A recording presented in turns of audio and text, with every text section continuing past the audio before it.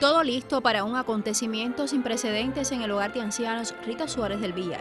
En varios de sus espacios aguardaron los cerca de 50 adultos mayores que residen en la institución en la que se procura el bienestar y la felicidad de cada uno de ellos. Y decidimos en esta fecha tan conmemorativa, entonces, realizar las dos bodas que creo que van a ser lo más lindo que vamos a tener para la historia del hogar.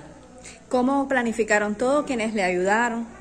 Bueno, eh, gracias miles al Palacio de los Matrimonios, que ha hecho una decoración en tan poquito espacio que me ha cambiado el lobby del, del hogar. Creo que estamos en el Palacio, hemos trasladado el Palacio completamente para acá.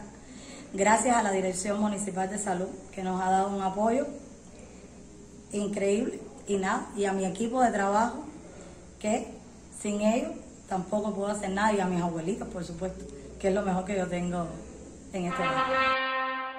Como en otras ceremonias nupciales, se vivió aquí el emotivo momento unido a la singularidad de estas parejas que han visto el amor como una fórmula necesaria para afrontar los desafíos de la vejez.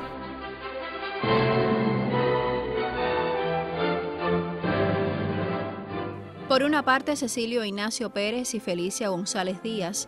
Del otro lado, Ramón Colina Álvarez junto a Olimpia Griselda Segura, quienes decidieron legalmente contraer matrimonio luego de experimentar hace algún tiempo el romance surgido en este lugar. Puedo decir que estoy súper feliz en haber efectuado hoy esta unión matrimonial entre, entre estos cuatro seres que merecen todo el respeto del mundo de todas las personas. Agradecida y muchas felicidades para ellos. Felices entonces.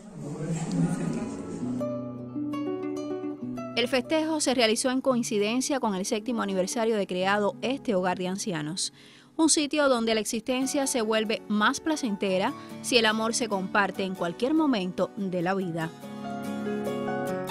Mayelín del Sol, Notisur.